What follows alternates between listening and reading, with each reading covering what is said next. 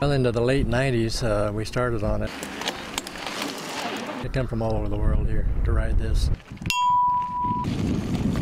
Chuck was a, a social person. He knew everybody and never met a stranger. Godspeed, Chuck.